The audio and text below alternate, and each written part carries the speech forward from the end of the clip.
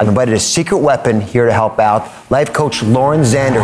One of the most accomplished life coaches in the world, co founder and chairwoman of the Handel Group. She contributes to the New York Times, Harvard Business Review, Women's Health, Men's Health, Dr. Phil, Meredith Vieira. She is no bullshit. Lauren Zander. Lauren Zander. Lauren Zander. Lauren Zander. The queen of accountability herself, Lauren Handel Zander.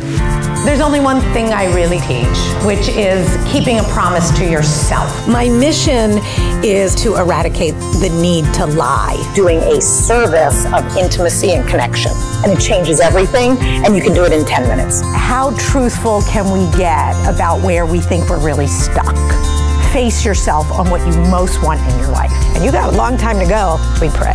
A dream in every area of your life will get you unstuck. The power is back where it belongs, where it's always been in your hands. Personal integrity, which is an ability to keep a promise to yourself. You change states of integrity, right? So integrity is a verb, it's not a noun. You don't have it. You have to show it minute to minute. The minute you can actually be aware of anything, you can change anything. Meeting her changed my life. The way you think in your mind, like how you talk to yourself, is critical to making those changes. And if you ever put a microphone on to that inner dialogue, you would find out you're abusive. To yourself. It's nasty.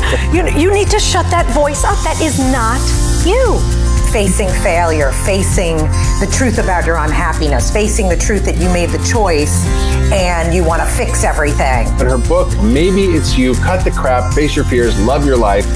And I've been working with Lauren for many years. And the truth is, I've never been happier. The change in life that is the most important is to actually not hide the real you and to actually get a sense of humor and start dealing with it.